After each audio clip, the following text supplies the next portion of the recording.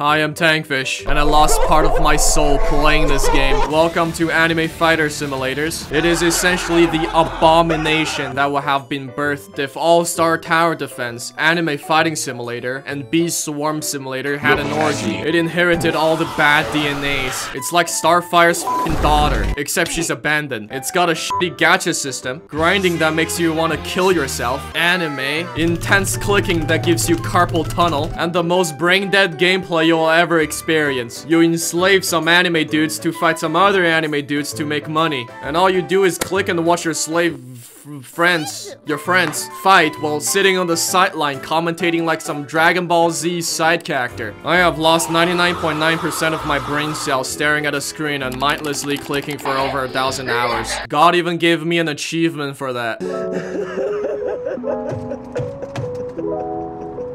Every day, I come out of my closet and play anime fighter simulators. The voice tells me to. The I can't stop. The voice is grinding. I find the biggest dude on the map, click on him, and f off. Since the game is playing by itself, I finally have some time to go outside and touch some grass. I then enjoy my luxurious meal, then realized after taking one bite that the fish was f***ing expired. Six hours later. It's time to go back and check on the progression. So I went down and do some As you can see, after years of training, my right arm is a lot stronger than my left. After the workout, I went outside and took a cold shower. Then I went in the kitchen to beat my meat. It was kinda hard, and it broke my hand. To heal my injury, I went to bed. Every day I come out of my closet and play anime fighter simulators.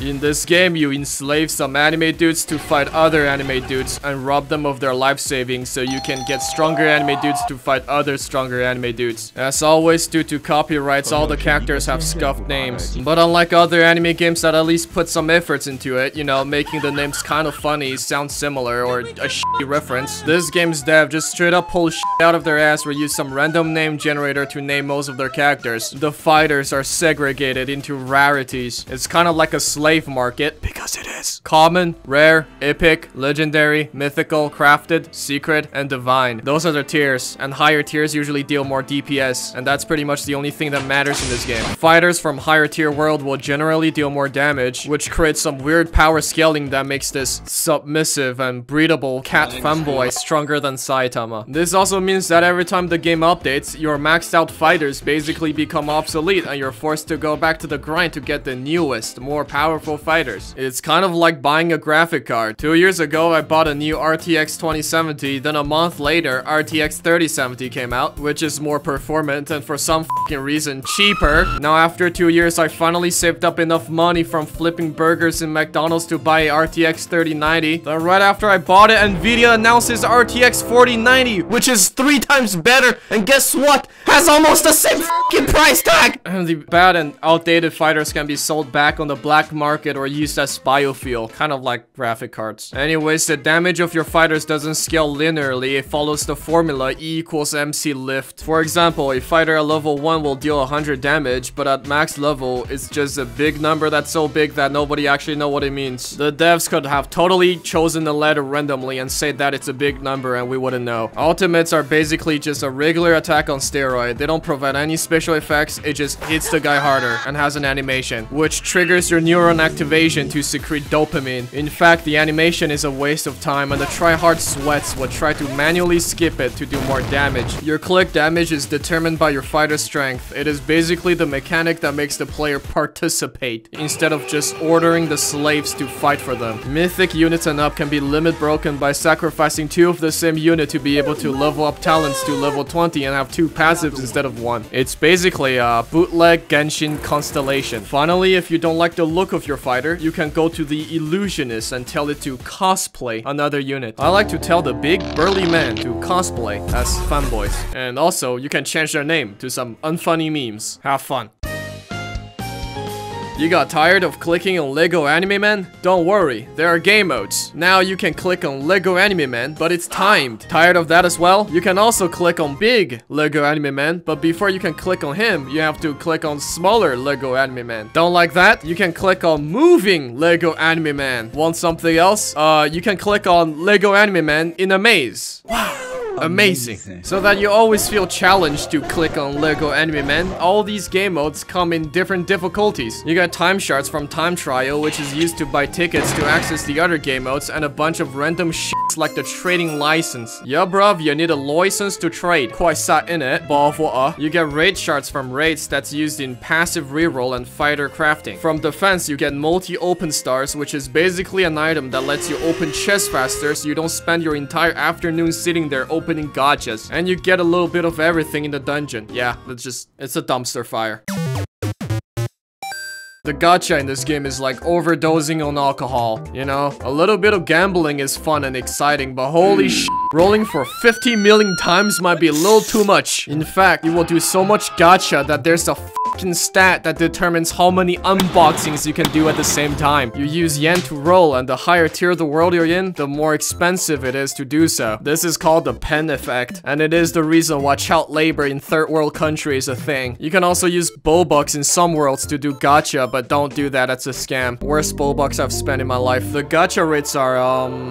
Yeah, it explains why I have 50 million rows. There's pity in this game, but just for the secret rarity fighters, the devs decided to add a secret pity potion that you have to drink in order to activate pity for secret fighters. This was simply just a dick move that did not have to be done, but they did it. To make your life easier, you can automatically sell all the unwanted children who don't meet the minimum SAT requirement. Some of your fighters will have a higher starting talent level, better passive, and uh, autism, or you can just use the talent machine to level up your talent to max, shiny machine to make them special, and passive roll to get better passive. So at the end of the day, it doesn't really matter. It will just cost you a lot of tokens, shards, and possibly both of your kidneys. Normal crafted fighters can't use the shiny machine because that would mean less grind for you, and the devs would never allow that. To reroll passive, there's the passive machine and the Requiem passive machine, which is basically the better, more expensive version. Since the RNG is dog shit and you're expected to sit there and roll for like two hours straight, there's the auto reroll system to ease the pain where you can pick the passives you want and the machine will automatically do the job until you get them or until you've gone broke and have to file bankruptcy to the bank. Thousands of years of human evolution led us to AFK gacha. So yeah, just go watch my videos when you're rolling. Easy. Now that I think about it, making people wait an eternity to roll for shits is actually pretty smart because this means the player technically have to play the game for longer. That means more money for the devs and better ranking for the game. Take note, people, take notes! Finally, the game doesn't give you an accurate description of what the passive does. Draconic. This fighter keeps a horde, like a dragon. What the f does that mean? What does it do? There are boosts that give you temporary buffs like better devious licking or more damage. You get these from your dailies and from the time shard shop. Upgrades gives permanent buffs and you get most of them by completing achievements. There are a load of them, so have fun grinding. Your fighters level up not from fighting but from committing cannibalism on other fighters or go in the incubator to Amimir, which you can level up with yen for faster level ups. You also get badges for completing world quests to get 10% bonus yen and mount speed. Most items can be exchanged for player XP if you want more free shit from your daily rewards. With fruits, you can increase your fighter's talent because fruits are rich in vitamin or something. It also costs fruits to use the shiny machine to make your fighters special. You get them from space, rocks, dungeons, or buy from the fruit merchant who isekai from Blox Fruit. Since fruits provide way too much advantage for the player because it negates the RNG. Just to make it a little bit gay, the devs separated the fruits into different tiers. And you have to use the proper tier to upgrade your fighters. You can fuse them though, so it's not that bad. Now, a Roblox simulator cannot be complete without some very homosexual microtransactions. This game straight up offers a built-in auto-clicker for click damage. And even better, more lucks. Motherfuckers actually selling better RNGs, bruh. Also, what does one luck mean? Am I getting like 1% more luck or is it like, what the f is this, deep lucking? And of course, you get all the usual simulator cash grab game passes. 2 times yen, 2 times XP, 2 times loot, 2 times dick size, bigger basement, and cosmetics that provide gameplay advantages. You know, the usual that all the other grindy games have. Uh, and the Robux item shop. Don't buy from the shop. Dude's scamming you. Just like Bee Swarm Simulator, the pain in this game is immense and without limit. Again, I have spent over a thousand hours and 7k Robux for my life saving on this game, and I'm still nowhere close in achieving maximum power. The saddest thing is, when the next update comes out, my whole build might just become irrelevant and I'll have to grind all over again. I think the only way for the best to stay as the best is to find the creator of this game and send a hitman to assassinate him so no more updates will be made. Apparently the game won't receive bi-weekly updates anymore. I think while I was writing the script, the game creator hacked into my computer and got scared. That's why he decided to slow down updates and lay low for a while. You start in the first world with your first slave friend, and you beat the shit out of a few people who are just standing there minding their own business. In fact, while you were beating them down, they were crying for help and were not able to retaliate. After committing manslaughter, you run their pockets, and with the new sto earned money, you get new fighters to go kill people faster until eventually you unlock the next world and do the same thing all over again until you reach the last world. My tip for the newcomers is to speedrun all the worlds until you get to the last one. Then you can go back to the previous worlds to complete the quest since you will be able to one-shot everything like some isekai protagonist. After reaching the last world, you can finally start min-maxing and try to get the best team comp which is basically a team full of divine fighters. Now, what's the odd of getting a divine? Uh...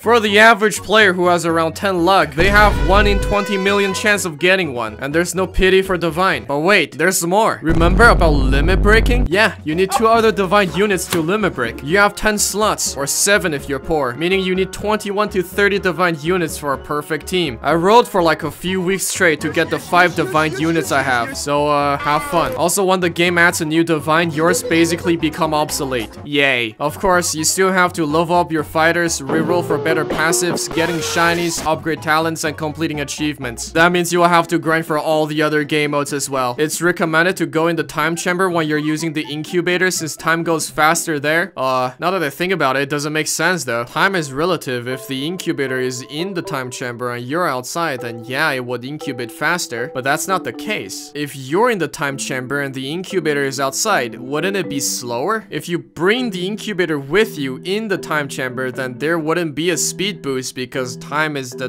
the same. There's a big-ass immortal masochist there that you can beat up for player XP though, so I digress. Finally, every weekend this game gives Yeah, buffs, so you should probably play during then if you want to grind. It's one of the way the devs make the player number go up since the game is so fucking boring. Why am I playing this shit? Oh god, my math homework is more fun than this. So yeah, good luck. And if you're dirt poor and can't afford game passes or Robux upgrades, I give you all of my condolences.